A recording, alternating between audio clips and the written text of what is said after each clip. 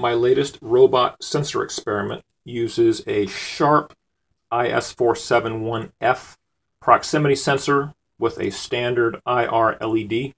Both of these are available from Junun Robotics, uh, about three bucks for the sensor.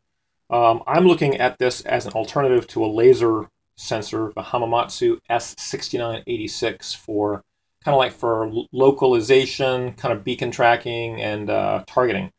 Um, what's interesting, is this sensor, I see lots of YouTube videos, people primarily use it for uh, very, very close range proximity sensing on the order of three to four inches.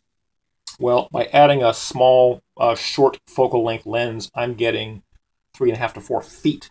Um, and this is looking for, there's a piece of Scotchlite reflective material right here. Here's a working sensor I built up. It's just basically, um, there's a plastic tube with a lens, the sensor, and I added uh, a red LED to show when it's sensing the reflection right there.